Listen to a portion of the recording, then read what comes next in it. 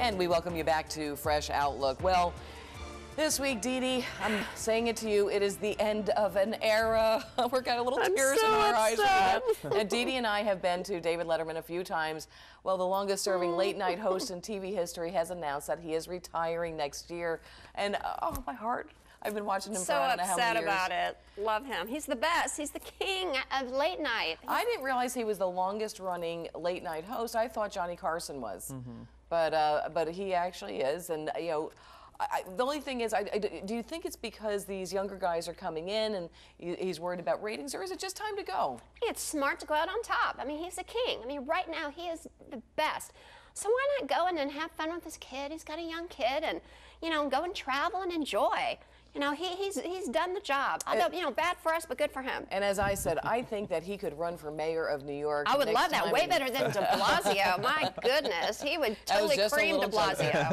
Are you a fan, Dr. Prescott? Yeah, I have to say, uh, what you, I mean, you just made me think for a second um, how much of like a social parallel like, the Letterman show has been for decades. I, you know, I can't, I can think back to as, as a child, and, and he's been around since then. Well, anybody that's what? Well, he's six. He's been on for. Well, even on Johnny Carson. what, what was his first year? I don't know. What was it? I, It'd think be he's been on for 28 years or something, and we just saw the 3000th show, so yeah, we should know yeah, this. that was fun. well, and you know he's from Indiana, so we all love him in Indiana. right, yeah, he yeah, used to yeah. bag groceries at Atlas uh, grocery store, and he went to Broad Ripple, and he and he's been funny his whole life. He used to do the weather and go, "Oh, forget it, I don't want to do the weather anymore." He'd start talking about something else. And the funny thing is about him, though, is he is such, he's so quick-witted. Of course, he's a comedian, but he's an intellect. He is so smart. The best interviewer, except for you, Mia. Well- he's the best guy interviewer. He's the best guy interviewer. He really is. He absolutely is fabulous. Um, certainly going to be missed, but you know what? We'll get all go. We'll We're get going tickets. We back. got to bring our producer Fa. He's been asking me to get him tickets. well, also. Mia's got the contact. She knows everybody. She can So- get us in to Count the on All me. Letterman don't show. worry. The whole Now- now, crew's now gonna the go. whole world is going to want to get tickets from you, Mia. All right. Well, tickets for what is being called the final five Monty Python live shows also went on sale. And you can't believe this. The first show sold in 43 and a half seconds.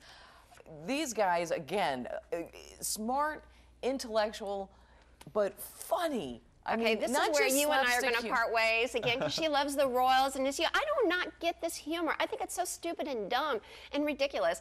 I don't get that. I cannot. I mean, it, it's Three Stooges to me. I, I cannot watch this for more than ten seconds. No, no, sorry. this I know you're all is- thinking blasphemy, but sorry, I I- cannot yeah, I- I- stand At this point, I I'm cannot saying blasphemy. imagine- Terrible. This might be one of my favorite scenes coming up. yeah, I think it's the rabbit scene. I- I- Where the, the rabbit attacks him. Yeah, th- th- this is this is what comedy was for me growing up in the 70s and 80s. This was a you know definitional way of understanding wit and humor, and it's so classically British. And uh, But isn't it funny that across the pond, if you will, how different the humor is? Yeah, we, Uh, like me, I don't get. I'm an all-American girl. I do not get this. Dr. Bart, are you a big fan of uh, Letterman? Uh, how about Monty Python? Well, Letterman, I, I really, I really like his, uh, you know, his humor and, and his dry wit. I think that that's a personality that I think we can relate to, and I, I give him a lot of credit for presenting himself as he is. But with Monty Python, I, I'm in the same league here with Dee Dee. I, I'm a Jersey guy. I don't, I don't really get this humor, but I do give them credit for being unique. I think when people are unique and they're on the scene and they contribute something, that's fine. Me, I'm Sinatra, Michael Bublé. I'd like George What's that got to do with anything? Sinatra. That's, a, that's, That's music. I, I think the attack rabbit in the Holy Grail scene is one of the funniest things I have ever seen in my life. You just love the Royals. You like that British Wait till you thing, see what I'm in in the show oh, with. I know, I know. Uh, and the life, the life of Brian. I mean, this is the other. Uh, no, so I'm going to give the political science commentary on this. I mean, there was a tremendous amount of social crit- critique in much of Monty Python, talking about sort of uh, life in the 1970s in, in the UK, and uh, I think for the American audience, it was an excellent way of uh, giving a comical way of looking at how how life. See, that's the problem. Nothing good happened in the 70s. That was a terrible decade. Anything with the but 70s, it produced no. great comedy. We usually Uh, need I like guess usually that's do. what you Yeah, think. we Do you know that need- there's more comedies on right now because the world, especially right here in the U.S., because the, of the economy, there's more. Uh, there's they're getting rid of the reality shows. Thank goodness. And putting more comedies on right now and family shows. Well, after the recent job reports, maybe we'll have to suffer less comedy. Oh, there there you go. The comedy economy's bouncing back. I, but I always find that interesting when you do watch television. That if you look in like the 1950s, you had all the family shows, the Leave It to Beaver, Lassie, things like that. It's very and interesting then in the watch. 70s, you have All in the Family and the Yes. Jeffersons and. Well, I love and- the funny shows as long as they're really funny. Yeah. But just, Unlike how, just how you know what was happening socially, how it pertains to the comedy and the TV shows. Mm-hmm. All right. Well, speaking of TV, everybody, are you ready for this one down in Florida, Dr. Bart? Okay. Are you ready? Batman. You got it. Batman is turning 75, Dr. Bart. Uh, got a couple facts about Batman to tell you. Um, there's a Batman versus Superman coming out. That's the first thing. And everyone is, uh, obviously, we've been talking about this, has been taking to Twitter to talk about whether Ben Affleck can be Batman. So the question is, why is Batman so popular after 75 years? Dr. Bart, you're a psychologist. Well, we, we always talk about personality, right? And uh, the, a winning personality. And I think Batman takes us away to other places. Uh, we could look at Batman and, and kind of laugh and think and, and it enriches Wow, our mind. It's an escape. It's a lot of positive things. And I think uh, well, he always gets the bad guy. No, but he's the Dark Knight, though. You got it all wrong on this one, Dr. Arcee. I'm sorry. Oh, this is the Dark, Dark Knight. Knight, but- this but is the this is the dark superhero. Superman's the positive one, but I'm over Batman, especially Ben Affleck. He's going to ruin the whole thing. I'm for Wonder Woman. Where's Wonder Woman? We've was- had I'm so many that one. movies. Where is a Where's Wonder the Wonder Woman? Woman movie? Where's the gender Enough already. fairness? Yeah, I agree with that. Well, Okay. uh, well, but where is Wonder Woman? She was pretty popular in the 1970s. Very popular, and we should have a Wonder Woman movie. I am over Batman. It's All right. time for Wonder Woman. Well, you're kind of a Wonder Woman. Well, we'll see what So are you. So we, we should be in the movie. And I I'm- know you're going to agree. What are you going to say to I that? Yeah, you have to agree I- to this one. I'm Dr. Barr, you sandwiched gotta agree the too. two, absolutely. you're outnumbered. yeah. All right. Well, there's another hero up in Boston, and uh, if anybody uh, likes baseball, I know you do, Dr. Bart. Big yeah. Papi. Uh, well, he's actually Dr. Bart. He's in big trouble this week with the White House. Uh, the Boston Red Sox slugger David Ortiz. He took a selfie with President Obama this week. Now, he of course was doing some social media stuff for Samsung, and the White House has come out pretty strongly and said, you know what? You can't profit again uh, with having a selfie with the president. What are your thoughts on that? I think it's ridiculous because, you know, Obama took a selfie at the funeral of uh, Nelson Mandela, so that was bad judgment.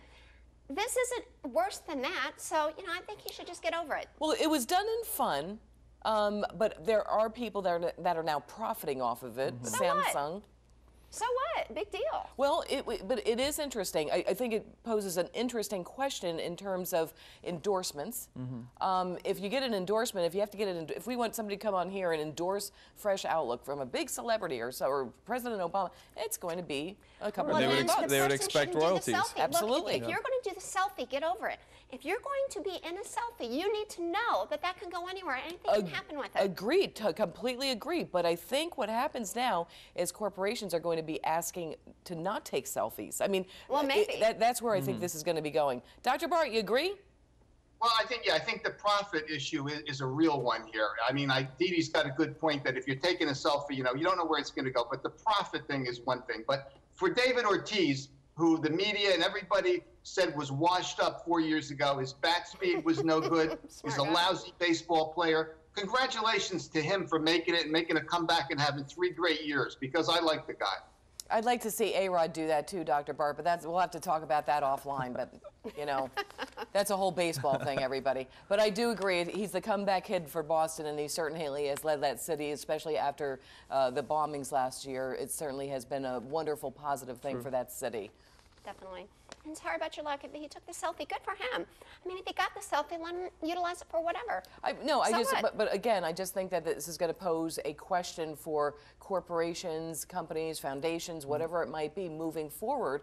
Where do you take a selfie? And even for on-air personalities, who can you take a selfie with? Well, the other question is, is what if it's used not necessarily for commercial um, uh, Yeah, what if you put What like if- a big fat body on it or something? Or what if you do some weird but what- configuration? But what if you use it for a, as a political endorsement or something? that's like true. Well, that's true, And, too. and so that that is a whole set. That's a real slippery slope. No, and I think that I think that's a, a, a great point because as you have uh, upcoming elections, I think that you're going to start seeing, you know, who do you take a selfie with? Mm-hmm. What if you yeah, look, if I took a selfie with Rahm Emanuel, who I don't like at all, and I'd say, he sucks, he's a terrible mayor. I mean, you know, it could really probably make him a little bit angry. Yes, and we saw him at Letterman. we did. That's why, that's why it was on my mind, Mia. All right, well, we have our final topic. This one is especially for Dee Dee. uh, we have a new portrait for the royal family. Uh, there it is. Ah, there. Isn't that adorable, though? I mean, and I know, Dee Dee, you're going, ah, that's so cute. You've got, probably got it already on your iPad. Oh, yeah, right. Um, but interesting, I was reading a little bit about the photographer who took the first portrait for the family. And what everybody is saying about this portrait is that it just looks like a normal family. And she really oh, captured oh, that. Come on. I'm sorry, It looks that's- like a normal family. This is the biggest welfare, royal welfare family ever. They don't have to work at all. They just get to hang out. That baby doesn't have to work a day in his life just because he's got blue blood. I'm sorry. They do not look like a normal family. I think that little baby looking at that Cocker Spaniel is about as adorable as it gets. I don't know how many pictures, I tried to read up on how many times it took that uh, photographer to capture that moment, but uh, I think it's Exactly. adorable. That's not normal, Mia. That's like taking 5,000 pictures to get the perfect royal shot. Okay. All right, Dr. Not Bart, any last thoughts on this? I don't think there's anything wrong with a wholesome picture, but I kind of lean in Deanie's direction on this one again because, you know, I, I don't know about the, you know, the royalty. It just, it, it does have another side to it that I, I'm not too favor uh, to. I, I, I just have a You're question. killing me, Dr. Bart. Yeah, Let me give you some snobbery. support. I, I, I kind of I used to really not like like the royals and and the whole political issue of the royals aside. Um, uh, your Scottish blood is probably boiling Yeah, at the sight exactly. of the That's, royals. that's a big Uh, part of it as well. Scottish independence aside, We want our Scottish independence. We're My- over my- the my royals. family's Enough from- already. My family's from Italy. I met the Queen Mum when I was going to school in, in I went to university in London. I met the Queen Mum and I was more excited about meeting her than just about anybody else. I've never met any, any of the British royal family. I met the Prince of Serbia a couple months ago, and he was about as as as down to earth and nice as you could possibly Just get. as And- the and- royal couple are Kate and I'm Uh, sorry, but they're And not it's, down to it's George. such a earth. beautiful picture. I just think it's cute. I- Well, the- that, that la-di-da. dog is looking right into that baby's eyes. I think it's a Oh beautiful my picture. gosh. Oh, stage, Dee stage. Dee. the monarchy, the royals. Your royal. You must have some royal blood, Mia. I'm, I'm just a, I'm just a Scottish serf. You know, just, just that's just how we roll. That's okay. It's all good. Well, on that note, that is all we have time for this week. I'm Mia Toski from all of us here at Fresh Outlook. Thanks for your company, and we'll see you back here next week.